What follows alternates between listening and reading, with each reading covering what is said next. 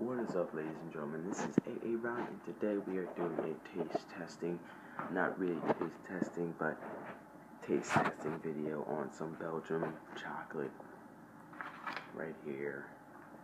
Look at the size of this baby. You're probably like, oh, that's nothing. Oh no, I bought a pound of that shit. This is only broken a part of it. I have it in a brown bag due to copyright reasons.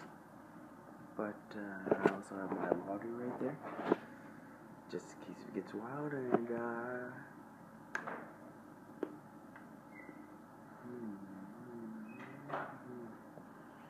mm -hmm. it's quality. Mm -hmm. Mm -hmm.